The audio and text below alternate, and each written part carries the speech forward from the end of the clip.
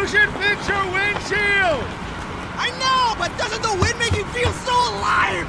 I can't feel my face! Auto Glass Now gets you Autoglass now.